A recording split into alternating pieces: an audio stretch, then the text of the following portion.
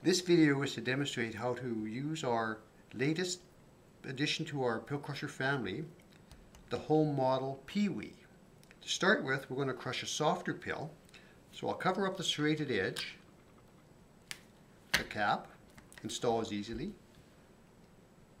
Pill goes in the reusable cup that comes with the crusher. Takes very little pressure.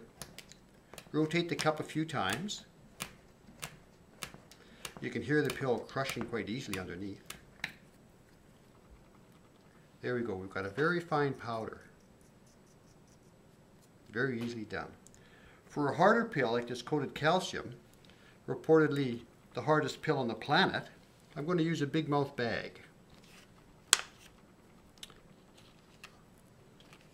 Coated calcium in the big mouth bag. The serrated edge is now exposed.